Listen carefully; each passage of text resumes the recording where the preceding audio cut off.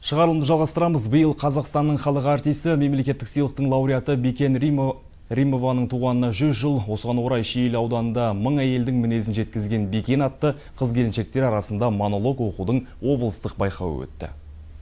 Бекен Римова 1923 жылы Талдықорған қаласы Қаратал ауылында дүниеге келген. Мәдениет майталманы 1943 жылы Алматы көркем театр училищесін тәмамдайды. Студент кезінен ақ Қазақ мемлекеттік Мұхтар Әуезов атындағы академиялық драма театрына жұмысқа қабылданып, түрлі образдарды сомдап, көптің ықыласына бөленеді. Соның ішінде алғаш болып оны үлкен сахнаға алып шыққан Мұхтар Әуезовтің еңлік кебегіндегі еңліктің рөлі еді. Театрдағы рөлдері көбінесе әйел образын ашуға, оның болмысын көрсетуге бағытталған. Сол шеберлігінің арқасында қара көзде Маржан Шыңғыс Айтматовтың ана жер анасында жер ана образдарын ерекше сомдаған. Сондай-ақ ол тақиялы періште, менің атым қожа, шабандоз қыз, қозы көрпеш пен баян сұлу сынды бірқатар киноларда төбе көрсетті. Өмірінің соңғы жылдары отандық тоғысқан тағдырлар телехикаясына түскен. Байқаудың басты мақсаты талайды таңдай қақтырған бөлік болмыс иесі Бекен Римованың сахнадағы қойған қойылымнан монолог оқу.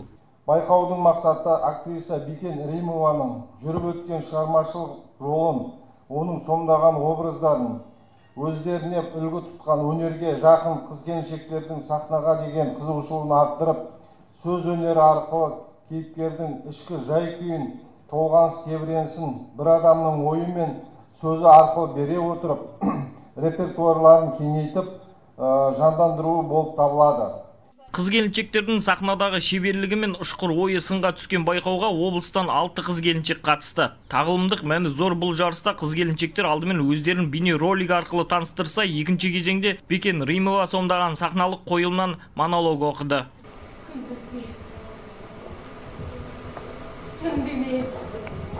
Әйтеуір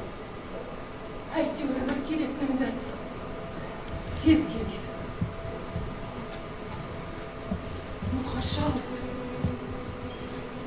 бірнеше жылдар бұрын сенің атыңнан келген қара қағазды әлі күнге дейін кеуде тұсымда сақтап жүрдім. Жиырма бес жыл. Жиырма бес жыл. Сені тірі деумен үмітімді үзбей өмір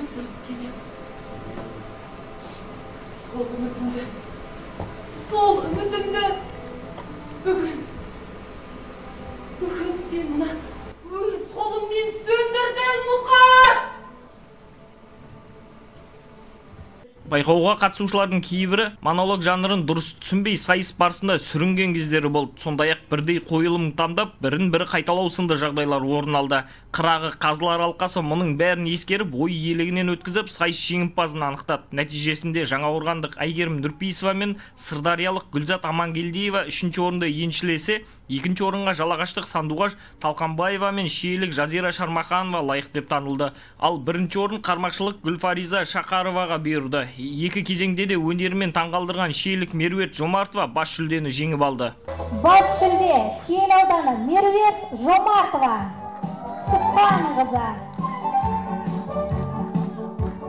Тахау Яхтановтың күтпеген кездесу деген ә, қойылымын алдым. Оны алған себебім негізі Бикен апамыздың ә, ойнаған образдарын ұзақ интернеттен іздеп зерттедім.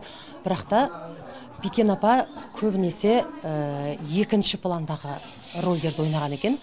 Ә, ол кісіде негізі тек қана ана жер ана деген қойылымнан басқа негізі ә, бір сенің образыңды ашатындай ондай монолог ол кісіде болмаған беген кездесудегі ғайни деген әйелдің образын білмеймін енді өзім соны жүрегім қалады соны, соған тоқталдым Конкурста жүлдегер атанған үміткерлер тұрмыстық техникалар мен дипломмен марапатталды. Бағамдасақ, мың әйелдің мінезін жеткізген Бекеннің өнері осындай өнерпаздар барда өміршең бола бермек. Елдос Асан, Бауыржан Қожамұратов, Аслан Мұзарап, Қызылорда телеарнасы Шиелі ауданынан.